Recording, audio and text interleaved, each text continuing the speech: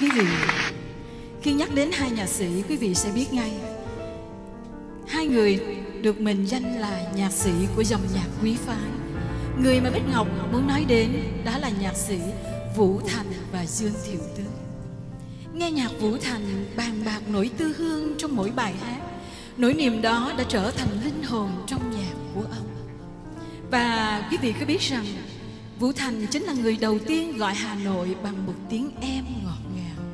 Êm dịu. Và trong đời sống thì ngoài cái tình yêu, gia đình còn có tình yêu quê hương. Tình yêu đó chính là nỗi niềm, một phần xương thịt của mỗi người chúng ta. Quê hương là gì hở mẹ Mà đi xa lại nhớ nhiều. Quê hương luôn là nỗi tâm tư của mỗi người.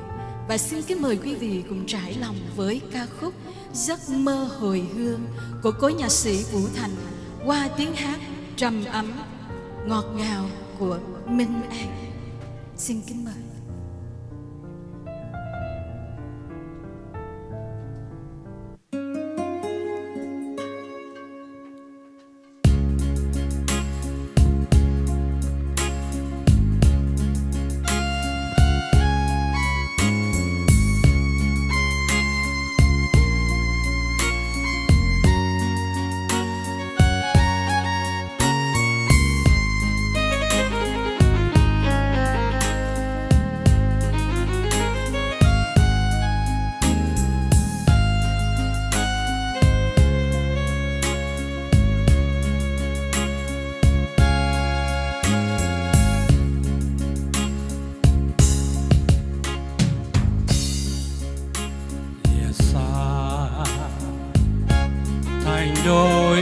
Dấu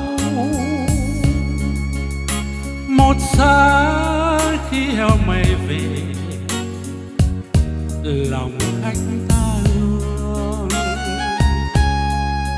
vương sâu thương.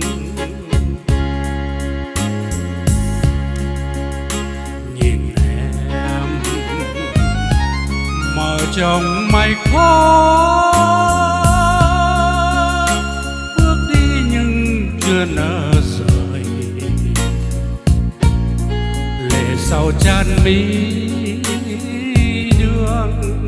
men cây đắng biệt ly.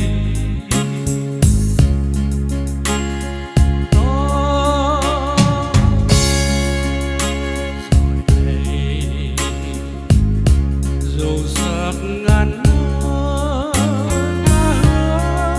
về chốn xa vời.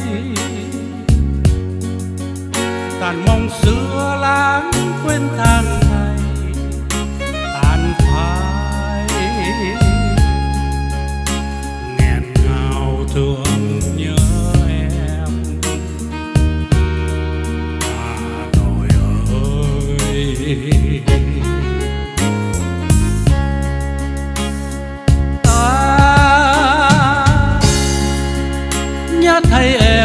một chiều chớm thu. Gian yêu kiều của ngày đá hoa. Thua tha bên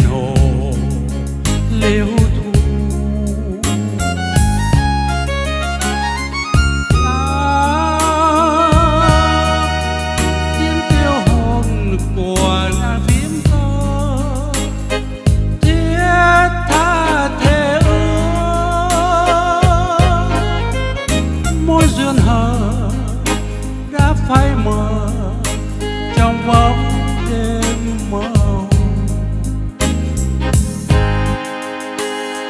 Ta ước thấy em một ngày sáng tươi tắm nắng hồng của một sớm mai say hương.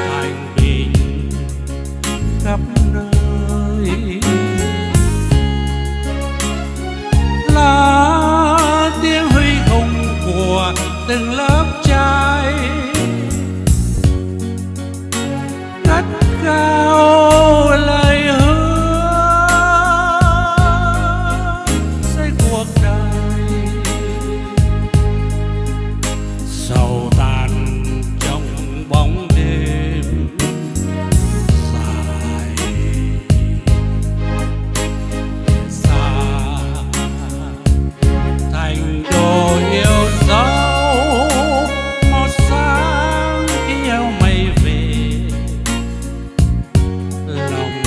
cách tha hương vương sau thương. Nhìn em mở trong mây khó bước đi nhưng chưa nở rời. Lệ sau chan mi đường men cây biệt ly dù xa, dù lạc ngàn phương, ta hướng về chốn quê nhà hẹn cùng nhau sát vai sông chồng.